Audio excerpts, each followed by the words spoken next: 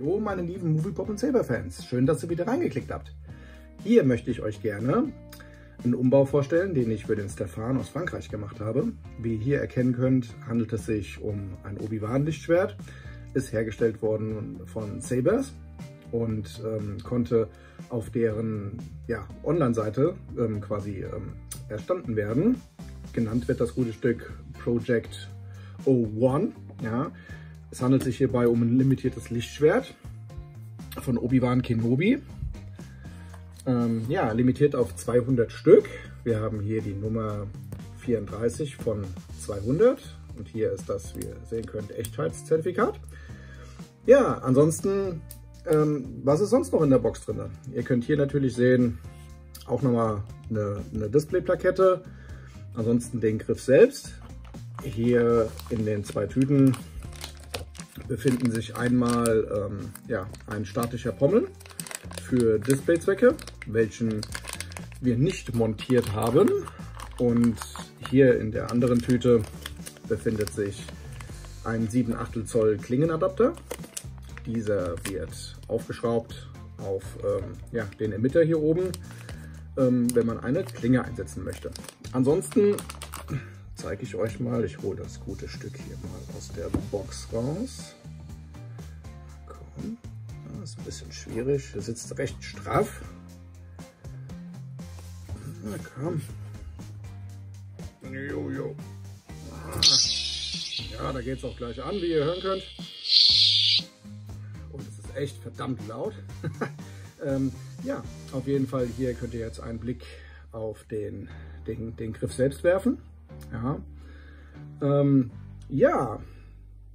was drin ist, was wir verbaut haben, welches Chassis wir dafür verwendet haben, dazu komme ich jetzt gleich. Ähm, erstmal zeige ich euch ein paar Bilder vom Umbau und danach ja, geht es direkt weiter.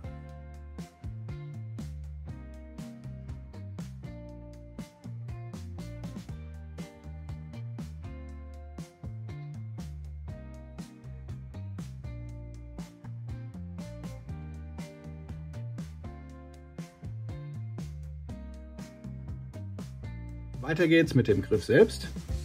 Lasst mich doch gleich einmal zeigen, wo das gute Stück geöffnet wird. Und zwar machen wir das über den Gürtelclip, lösen quasi die Schraube und entfernen dann im Endeffekt den, den Gürtelclip. Und dann lässt sich hier der, der, ja, der, der untere Teil des Griffes lässt sich dann im Endeffekt rausziehen hier. Einmal so. Und ansonsten haben wir hier das Chassis. Das lässt sich natürlich auch, wer möchte, vollständig entfernen. Muss man halt ein bisschen, ein bisschen Acht geben. Ich schalte es nochmal aus. So, ja, da könnt ihr hier einen Blick auf das Chassis werfen. Ist designt worden von Luis Luciano. Ähm, konnte ebenfalls über den Store von Sabers quasi gekauft werden. Dort war ein Link ähm, zu seinem Etsy-Shop und dort konnte man dieses Chassis mit ähm, USB-C-Support konnte man kaufen für, ja, ich glaube es waren ungefähr 80 Euro. Ja, ähm, ansonsten ja, was gibt es hier zum Umbau zu sagen?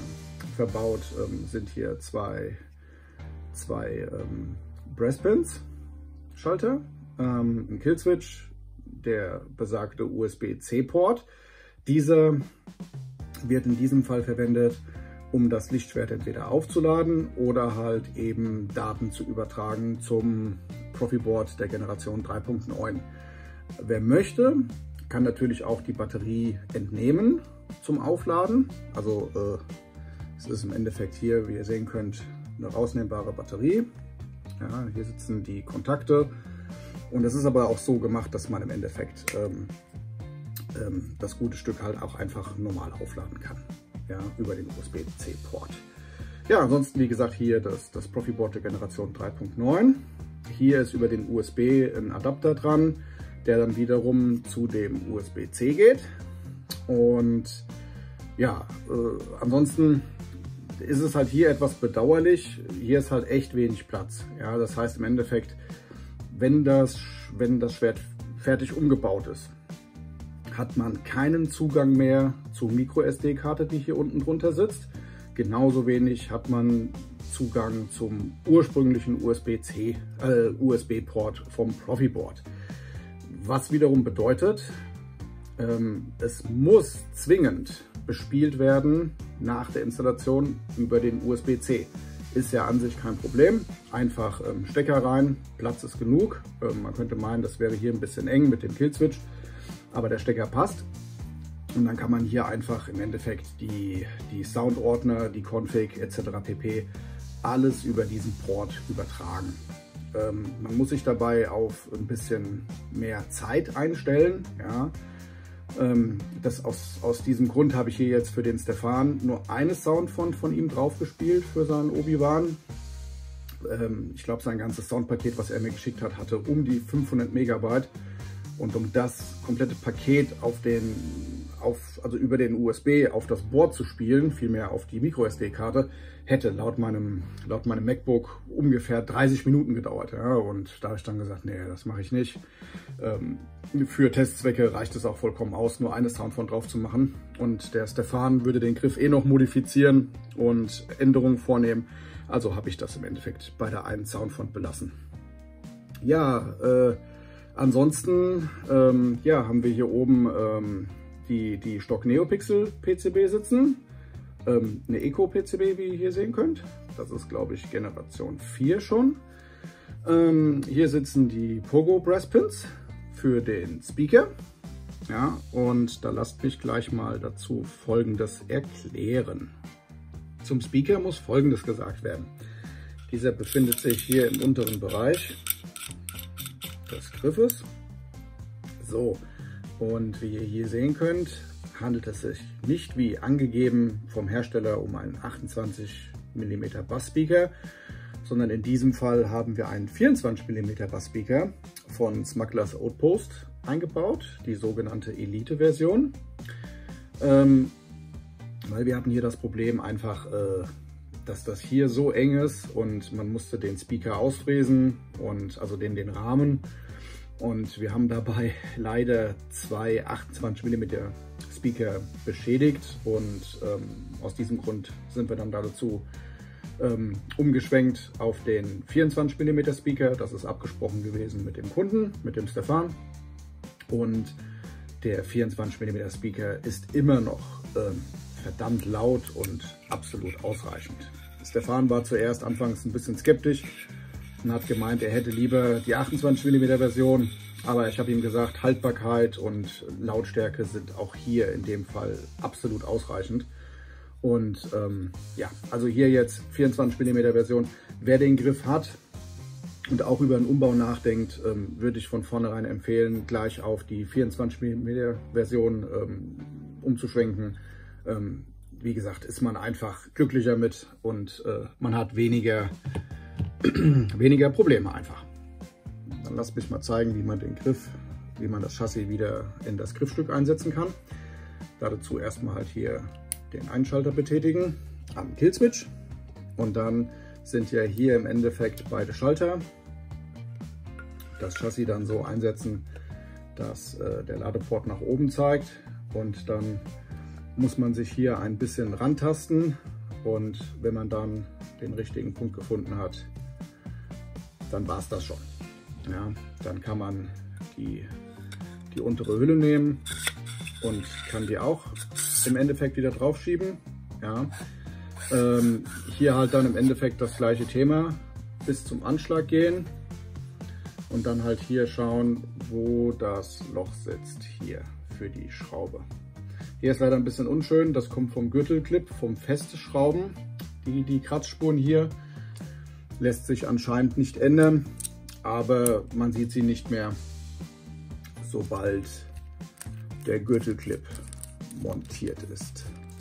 Dann einfach die Schraube anziehen bis zum Anschlag. So. Und wie gesagt, dann sieht man die Kratzspuren hier nicht mehr. Die werden vollflächig verdeckt. Ja, das ist leider so. Und ja, Ansonsten dann lässt sich der Griff ganz normal hier steuern. Hier sitzt der AUX-Button und hier der, der Power-Button. Wie gesagt, ist nur eine Soundfont drauf. Und dann ansonsten ist hier der Power-Button. Knöpfe lassen sich super elegant drücken. Hier hat man, wie gesagt, echt ein schönes Shine-Through. Und hier sitzt halt dann der Plug-Knopf drauf. Ansonsten hier Basic Config für Profi OS 7 mit Swing, Smooth Swing, Clash, Blaster und der Force FX. Ja, ansonsten alles andere ist auch mit drin, Lautstärke, Gestiksteuerung, ein, aus, alles was das Herz ja, begehrt. So, ansonsten lasst mich mal zeigen, wie das hier abläuft mit der Klinge. Hierzu muss man, wie gesagt, den, den, das obere Stück abschrauben, wo halt der Blade Plug integriert ist. Und dann kommt man hier zum Inneren. Kann man sehen, 7 Achtel Zoll Klingenaufnahme. Hier unten sieht man die Einstecktiefe zur PCB. Und die Klingenschraube sitzt hier im Gewinde. So, dann würde ich als nächstes mal zeigen, wie man hier die Klinge einsetzt, sie feste zieht und worauf man hier in dem Fall zu achten hat. So, nun zunächst ähm, holt man aus der Box den Adapter ja, und diesen dann noch nicht direkt aufschrauben, sondern man muss ihn von unten über die Klinge stülpen.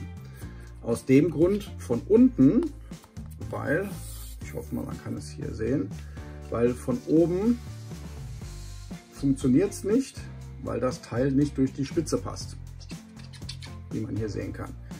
Also im Endeffekt von unten draufschieben, dann die Klinge einsetzen bis zum Anschlag runter. So, ich nehme hier gerade mal ähm, mein, mein Werkzeug und ziehe die Klingenschraube an. Wenn das erfolgt ist, kann man dann hier das obere Stück dann drauf drehen. Auch bis zum Anschlag. Und dann sitzt das Ganze richtig schön, ansatzlos. Man sieht keine Schraube, gar nichts. Echt super elegant gelöst. Ja, und dann einfach ganz normal kann man dann alles verwenden.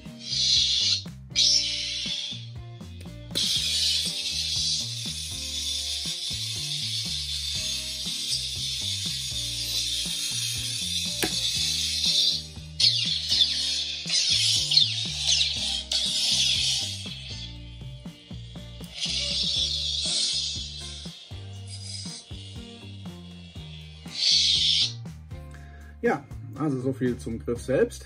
Ja. Ähm, ich denke, damit wären, wären alle Dinge gezeigt, die relevant sind. Ja. Ähm, für dich, Stefan, ich lege noch ähm, eine von meinen neuen Anleitungen mit bei für das Zwei-Button-Setup.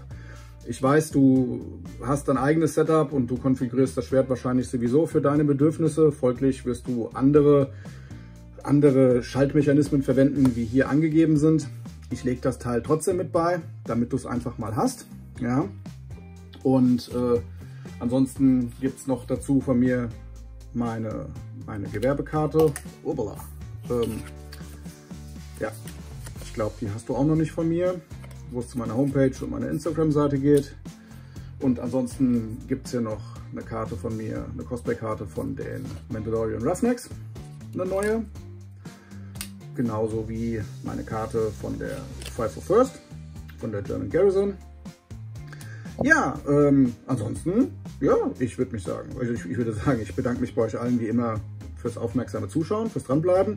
Wenn ihr mögt, schreibt mir was in die Kommentare, was ihr vom Griff haltet. Ich selbst persönlich bin der Meinung, ich habe schon eine ganze Menge Obi-Wan-Griffe gehabt von Episode 1 und 2, aber der hier von Sabers ist meiner Meinung nach die beste Version, die ich jemals hatte. Also äh, der Griff fühlt sich super an. Ich finde die Chassis-Lösung elegant, bis auf die Nummer mit dem USB-C. Aber wenn das Schwert einmal bespielt ist, hat man ansonsten seine wahre Freude. Ähm, ja, oben super, super gelöst mit dem, mit dem Emitter, mit der Klingenaufnahme, mit der versteckten Klingenschraube. Also wie gesagt, echt ein Top-Produkt. Leider ausverkauft. Ähm, wer, die, wer, der, wer das Glück hatte, eins der 200 Exemplare zu bekommen für 500 Dollar, der hat da echt einen guten Griff gemacht. Ja, und ähm, ja, aber das sind, wie gesagt, das, sind, das ist nur meine Meinung zum Griff.